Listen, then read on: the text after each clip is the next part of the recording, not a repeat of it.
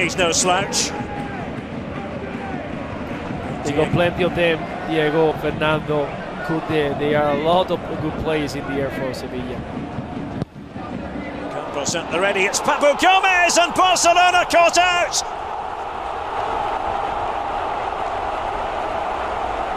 The opening goal for Sevilla. Papu Gomez created that little pocket of space. And on this soggy night in Seville, Barcelona fall behind.